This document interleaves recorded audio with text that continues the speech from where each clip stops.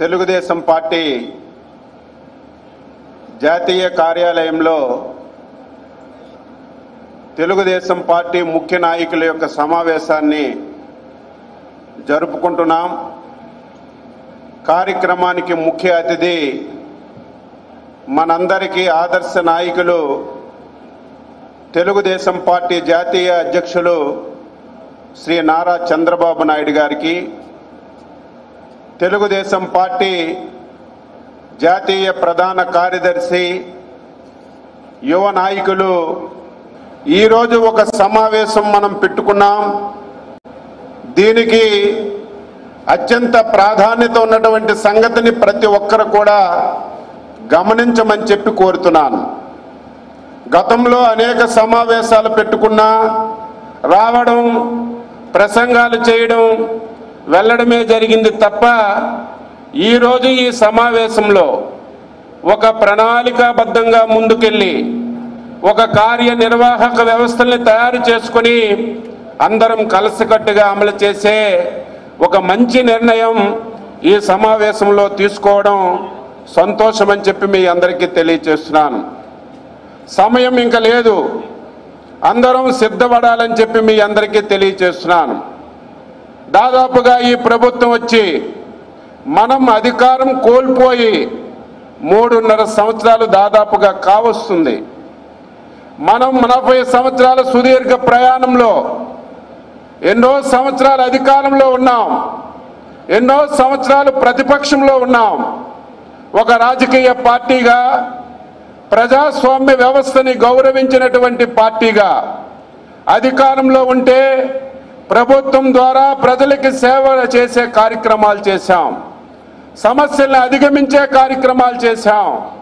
ప్రతిపక్షంలో ఉంటే ఒక రాజకీయ పార్టీగా నిరంతరం ప్రజల సమస్యలు ప్రభుత్వం దృష్టికి తీసుకొచ్చి పరిష్కరించే కార్యక్రమం చేశాం. కానీ స్వాతంత్ర భారతదేశంలో ఇటువంటి దుర్మార్గమైనటువంటి ప్రభుత్వం ఇటువంటి దుర్మార్గమైనటువంటి ముఖ్యమంత్రి స్వాతంత్ర భారతదేశంలో ఎంతవరకు ఎప్పుడు చూడలేదనే విషయాన్ని మనందరం కూడా గుర్తుపెట్టుకోవాలి. ఈయన అధికారంలోకి వచ్చిన తర్వాత నూట యాభై ఒక్క స్థానాలు గెలిచి బాగా గర్వంతో మదమెక్కినటువంటి వ్యక్తిగా మాట్లాడాడు. ఆంధ్రప్రదేశ్ రాష్ట్రంలో ఏ రాజకీయ పార్టీ ఉండకూడదు. ఒకే పార్టీ ఉండాలి. నేనే ఈ రాష్ట్రానికి శాశ్వత ముఖ్యమంత్రిగా ఉండాలని ఎన్ని ఇబ్బందులు మనందరికీ పెట్టారో ఈ మూడున్నర సంవత్సరాలు మనందరం అనుభవించాం. అయితే ఈ విషయాలన్నీ ఎందుకు మీకు చెప్తున్నానంటే నలభై సంవత్సరాల సుదీర్ఘ ప్రయాణంలో తెలుగుదేశం పార్టీ ఎన్నో కష్టాలు పడింది. ఎన్నో ఇబ్బందులు పెట్టింది. చాలా సందర్భాలలో పార్టీలో ముఖ్యమైనటువంటి నాయకులు పార్టీలు మారిన కొన్ని ప్రభుత్వాలు కావాలని తెలుగుదేశం పార్టీకి ఇబ్బంది పెట్టిన ఈ మూడున్నర సంవత్సరాలుగా దుర్మార్గుడు జగన్మోహన్ రెడ్డి అనేకమైనటువంటి సమస్యలు సృష్టించినా సరే తెలుగుదేశం పార్టీ మళ్ళీ ఇంత బలంగా రేపు అధికారంలోకి రావడానికి సిద్ధంగా ఉంది అంటే దానికి కారణం మన జాతీయ పార్టీ అధ్యక్షులు పార్టీ సంస్థాగత నిర్మాణాన్ని బలహీనం కాకుండా బలంగా స్థిరస్థాయిగా ఉండే విధంగా నిర్మించారు. కాబట్టే ఈరోజు ఈ పార్టీ మూడు పువ్వులు ఆరు కాయలుగా రాష్ట్రంలోకి వెళ్తుందని చెప్పి మీ అందరికీ తెలియజేస్తున్నాను. అందుకే సంస్థాగత నిర్మాణం తెలుగుదేశం పార్టీకి అత్యంత ప్రధానమైనటువంటి అంశంగా మీ అందరూ కూడా భావించాలని చెప్పి మీ అందరికీ తెలియజేస్తున్నాను. అందులో భాగంగా ప్రతి రెండు సంవత్సరాలకి సభ్యత్వ కార్యక్రమం మనం తీసుకుంటున్నాం. గత కొన్ని సంవత్సరాల్లో అనేకమైనటువంటి ఇబ్బందులు ఉన్నా సరే మన యువ నాయకుడు రాజకీయాల్లోకి వచ్చిన తర్వాత టెక్నాలజీని అనుసంధానం చేసి ఉమ్మడి రాష్ట్రాల్లో అరవై లక్షల మంది కుటుంబ సభ్యులని తయారు చేసినటువంటి పార్టీ తెలుగుదేశం పార్టీ అనేది మనందరం గుర్తుపెట్టుకోవాలి. మళ్ళీ గత ఏప్రిల్ ఇరవై ఒకటవ తారీఖున సభ్యత్వ కార్యక్రమాన్ని రాష్ట్రంలో చంద్రబాబు గారి నాయకత్వంలో ఇక్కడ మనం ప్రారంభించాం. నాలుగు మాసాలైంది పదహారు లక్షల సభ్యత్వాలని పూర్తి చేసుకున్నాం. గతంలో కంటే ఈసారి టెక్నాలజీని ఉపయోగించి ఎక్కడ తప్పుడు సభ్యత్వాలు కాకుండా ఎవరైతే పార్టీలో పనిచేస్తున్నారో ఎవరైతే పార్టీకి సమయం ఇస్తున్నారో జెన్యున్గా సభ్యత్వాలు చేయాలని కార్యక్రమం చేసినా సరే ఇంకా కొన్ని నియోజకవర్గాల్లో ఈ కార్యక్రమం చాలా స్లోగా అవుతుంది. దానికి అనేకమైనటువంటి కారణాలు చెప్తున్నారు. కానీ అధ్యక్షుల వారు లోకేష్ బాబు గారు అందరము చాలా సందర్భాల్లో చర్చించాం. ఇక ఎటువంటి మార్పు రాదు. చాలా మంది అనుకుంటున్నారు కొద్ది రోజులు టెక్నాలజీ చేస్తే ఇది విజయం కాకపోతే మళ్ళీ మామూలుగా సభ్యత్వం చేయొచ్చని కొంతమంది ఆలోచిస్తున్నారు. అందరికీ ఈ వేదిక ద్వారా దయవించి కోరుతున్నాను ఎన్ని ప్రసంగాలు చేసినా రేపు అధికారంలోకి వస్తే అనేక కార్యక్రమాలు చేస్తామని మనం వాగ్దానాలు చేసినా సరే అధికారంలోకి రావాలంటే ప్రధానమైనటువంటి ఆయుధం ఓటర్ అనేది మనందరం కూడా గుర్తుపెట్టుకోవాలి. నాతో సహా ఎవరు ఓటర్ లిస్టుల మీద దృష్టి పెట్టం. ఎన్నికలప్పుడే దాని మీద దృష్టి పెడతాం. ఓట్లు లేవని గొగ్గోలు పెడతాం. దొంగ ఓట్లు వచ్చారని కంప్లైంట్లు చేస్తాం తప్ప ముందుగా దాని మీద ఎవరూ కూడా దృష్టి పెట్టడం లేదు. రాష్ట్రంలో అధ్యక్షుల వారి ఆదేశాల మేరకు ఏడు నియోజకవర్గాల్లో ఈ కార్యక్రమాన్ని ప్రారంభిస్తే ఈరోజు జగన్మోహన్ రెడ్డి నేనే శాశ్వతంగా ఉంటానని చెప్పాడు. ఈ రాష్ట్రంలో ఇంకొక పార్టీ ఉండదని చెప్పాడు.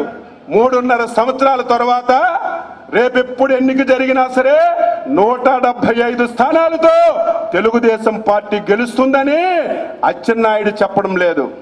ఏ సర్వే చూసినా సరే ఎవరు మాట్లాడుకున్నా సరే ఏ వర్గం చర్చించుకున్నా సరే ఎప్పుడు ఎన్నిక జరిగినా సరే తెలుగుదేశం పార్టీ అధికారంలోకి వస్తుంది.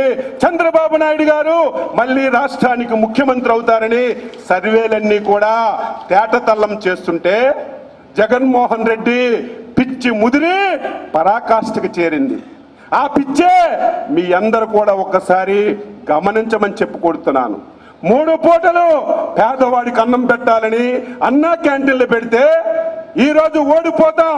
నిన్నటి వరకు బటన్లు నొక్కాను నాకే ఓట్లేస్తాడని అనుకున్నాడు. నేనే ఏదో దౌర్జన్యం చేస్తున్నాను నాకే ఓట్లు వేస్తున్నారని అనుకున్నారు. కానీ ఈరోజు రోజు చేసినా బట్టలు నొక్కినా దౌర్జన్యం చేసినా సరే ప్రజలు ఈ రాష్ట్రాన్ని మళ్ళీ కాపాడుకోవడానికి సిద్ధపడ్డారు కాబట్టే వారి ఏకైక మార్గం దౌర్జన్యం చేయడం ఒకటైతే రెండవది దొంగ ఓట్లు చేర్పించుకోవడం. దీని మీద మీరందరూ కూడా దృష్టి పెట్టాలని చెప్పి కోరుతున్నాను. ఈరోజు ఈ ప్రోగ్రాం ఇచ్చి రెండు మాసాలు అయింది ఎవరో ఏమనుకోవద్దు. చాలా సందర్భాలలో కాన్ఫరెన్స్లు తీసుకొని చెప్తున్నాం. చాలా సందర్భాల్లో అధ్యక్షుల వారు చెప్తున్నారు. కానీ ఈ రాష్ట్రంలో ఇంకా డెబ్బై నియోజకవర్గాల్లో ఈ ఓటరు నమోదు కార్యక్రమాన్ని ఓటరు వెరిఫికేషన్ కార్యక్రమాన్ని ఇంకా ప్రారంభించలేదంటే నేను బాధపడుతున్నాను. దయ ఉంచి ఈ రోజు నుంచి మీలో మార్పు రావాలి. ఇక నుంచి ఎవరైనా ఈ కార్యక్రమాలు చేయకపోతే పేరు పెట్టి చెప్పవలసినటువంటి అవసరం వస్తుందని ఈ సందర్భంగా మీ అందరికీ తెలియజేస్తూ ఓటర్ నమోదు కార్యక్రమాన్ని అత్యంత ప్రాధాన్యతగా తీసుకోవాలని మీ అందరికీ ఈ సందర్భంగా తెలియజేస్తున్నాను. రెండవది కమిటీలు. సంవత్సరం నుంచి ప్రయత్నం చేస్తున్నాం. ప్రతిరోజు మాట్లాడుతున్నాం. జాతీయ పార్టీ అధ్యక్షుల వారు ప్రతి మంగళవారం నాడు కమిటీల మీద చర్చిస్తున్నారు. కానీ అనుకున్న స్థాయిలో మనం కమిటీలను పూర్తి చేసుకోలేకపోయాం. ఎవరినైనా అడుగుతుంటే ఇన్ఛార్జీలు మాకు సహకరించడం లేదు. ఇన్ఛార్జీలు మాకు పేర్లు ఇవ్వడం లేదు. ఏం చేయమంటారని అనుబంధ సంస్థ అధ్యక్షులు ఎవరైతే మన నాయకులు ఇన్ఛార్జీలుగా వస్తున్నారో వీరందరూ ప్రతిరోజు మా దృష్టిలో పెడుతున్నారు. దయవుంచి ఇంకా ప్రొలాంగ్ చేయడానికి వీల్లేదు ఒక టైం బౌండ్ పెట్టుకొని కమిటీలన్నీ మీరు పూర్తి చేయాలి. మీరు పూర్తి చేయకపోతే రాష్ట్ర కార్యాలయమే తెలుగుదేశం పార్టీ వ్యక్తులకి సెలెక్ట్ చేసి కమిటీలన్నీ కూడా పూర్తి చేసుకునే బాధ్యత తీసుకుంటాం. దీనికి మీరందరూ కూడా ముందుకు రావాలని వస్తారని చెప్పి ఆశిస్తున్నాం. ఈరోజు కొత్త సిస్టమ్ తీసుకొచ్చాం. సెక్షన్ కమిటీ అని బూత్ కమిటీ అని అదేవిధంగా క్లస్టర్ కమిటీ అని డివిజన్ కమిటీ అని తీసుకొచ్చాం. గ్రామ కమిటీలన్నీ వేసుకున్నాం. ఈరోజు అనుబంధ సంఘాలు కూడా వేసుకుంటే పార్టీకి ఒక సిస్టమ్ వస్తుంది ఒక వ్యవస్థ వస్తుంది. మనం పనిచేయడానికి అవకాశం ఉంటుందని చెప్పి ఈ సందర్భంగా మీ అందరికీ తెలియజేస్తున్నాను. అదేవిధంగా ఒకప్పుడు లేదు. ఇప్పుడు ఒక పెద్ద కార్యక్రమం సోషల్ మీడియా. అది లేకపోతే ఈరోజు సమాజమే లేదు. అది లేకపోతే వ్యవస్థే లేదు. అంత కీలకంగా ఈరోజు సోషల్ మీడియా ప్రముఖ పాత్ర పోషిస్తుంది కాబట్టే ఇప్పటికే లోకేష్ బాబు గారి నాయకత్వంలో విజయ్ నాయకత్వంలో ఐటీడీపీ ఒక పెద్ద వ్యవస్థని తెలుగుదేశం పార్టీలో ఈరోజు నిర్మాణం చేసుకున్నాం. ఈరోజు తెలుగుదేశం పార్టీలో ఐటీడీపీ లాగా ఇంకొక అనుబంధ సంస్థ పనిచేయడం లేదు. ఒక సిస్టమేటిక్గా ఒక కార్యక్రమం జరిగితే నిమిషాల మీద మీకు సమాచారం ఇచ్చి మీ అందరికీ యాక్టివేట్ చేసే కార్యక్రమం తీసుకుంటుంది సోషల్ మీడియాని. అదేవిధంగా ఈ కార్యక్రమాన్ని మీరందరూ కూడా ముందుండి నడిపించాలని చెప్పి సందర్భంగా తెలియజేస్తున్నాను.